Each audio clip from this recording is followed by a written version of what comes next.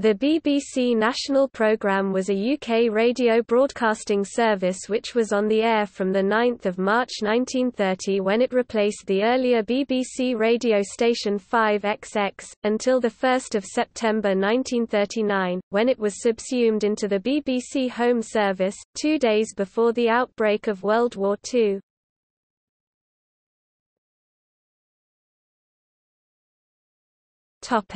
Foundation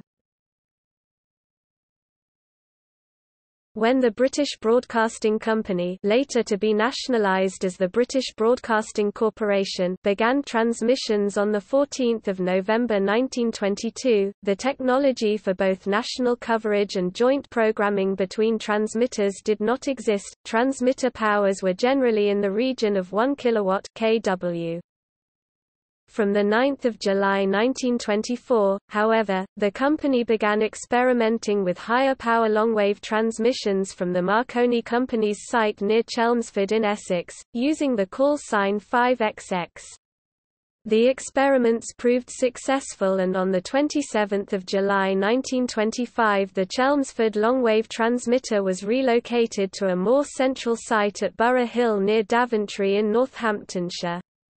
This provided a national service of programs originating in London, although it remained somewhat experimental and was supplementary to the BBC's locally based services, including its main London station, 2LO. Initially the national program was transmitted on 187.5 kHz longwave but this was later changed, with the opening in 1934 of a new high-power longwave transmitter site at Droitwich, to 200 kHz, which was to remain the BBC's longwave frequency until 1978, when it was moved slightly to 198 kHz. Medium wave transmitters were used to augment coverage.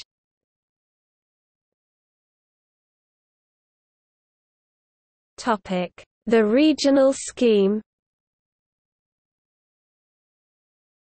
On 21 August 1927, the BBC opened a high-power medium-wave transmitter at the Daventry 5 GB site, to replace the existing local stations in the English Midlands.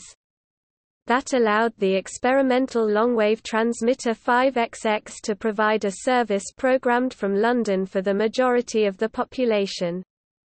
This came to be called the BBC National Programme. By combining the resources of the local stations into one regional station in each area, with a basic sustaining service from London, the BBC hoped to increase programme quality whilst also centralising the management of the radio service. This was known as the regional scheme, and eventually resulted in the gradual extension throughout the 1930s of a separate BBC regional programme. The local stations were gradually either converted to regional relays or closed entirely and replaced by high-power regional program transmitters. Some local studios were retained to provide for programming from specific areas within each region. Most transmitters also carried the BBC national programme on a local frequency to supplement the longwave broadcasts from 5XX. Initially, these were on three separate frequencies in order to minimize interference, but by 1939, as the regional programme network expanded, the national programme's three remaining medium-wave transmitters, at Brookmans Park for London and the South East, Moorside Edge for the North, and Wester Glen for Central Scotland were all using 1149 kHz.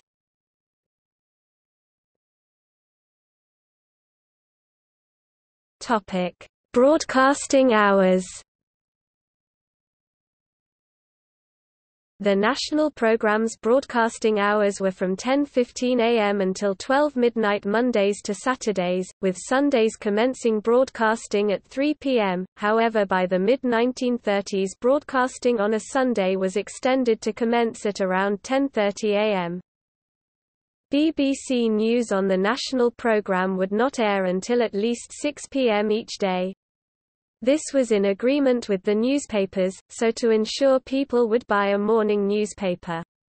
The national program did not have a dedicated news department until 1934, and only then was it used to edit and broadcast news material from other wire agencies in the country and around the world.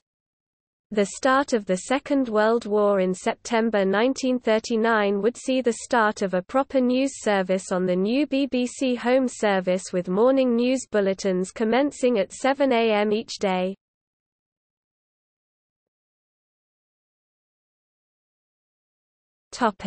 Closure. Upon the outbreak of World War II, the BBC closed the regional and national programmes and replaced them with a single channel known as the BBC Home Service. The main transmitter network was synchronized between just two groups, using 668 and 767 kHz, each of which could be turned off during air raids to prevent its signals being used as navigational beacons with listeners required to retune in such an event to a low-powered single-frequency network on 1474 kHz.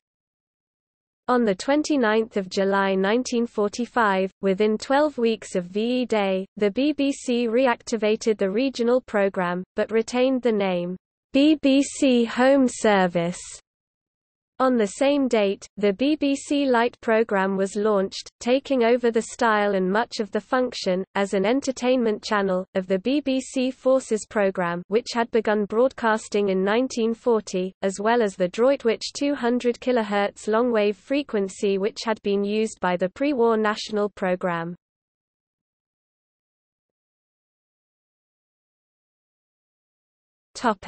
Inheritance Both the national program and the regional program provided a mixed mainstream radio service. Whilst the two services provided different programming, allowing listeners a choice, they were not streamed to appeal to different audiences, rather, they were intended to offer a choice of programming to a single audience. While using the same transmitters, the national program broadcast significantly more speech and classical music than its successor, the Light program. Similarly, the regional program broadcast much more light music than its successor, the Home Service.